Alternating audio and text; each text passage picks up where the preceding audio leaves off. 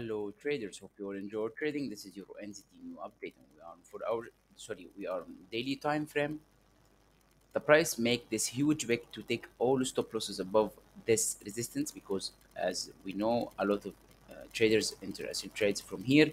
The price go up and make this fake out and take all the stop losses and then back three sorry back below with this huge bearish candlestick.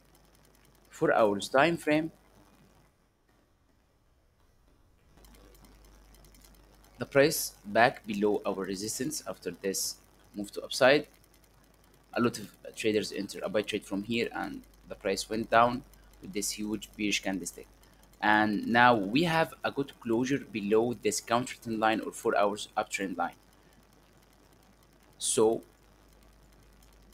i'm waiting the price to go back to retest this area this resistance area one more time and then we can enter a sell trade because uh, we can't enter from here because if we entered from here we should put our stop loss above this wick so it will be if we entered from here we should put our stop loss above this wick so it will be 100 pips stop loss. So uh, i'm not using uh, big stop losses so just we need a four hour closure like this bearish candlestick below this counter trend line or uh, four hours uptrend line and back to retest this region and then we can enter a sell trade.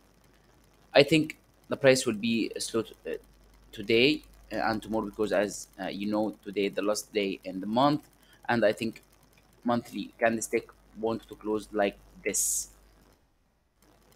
below this resistance. So if we have a good closure uh, as I said and the price go up three test we can enter with, any bearish price action from here. Hope you all benefit from this analysis. Trade safe and have a nice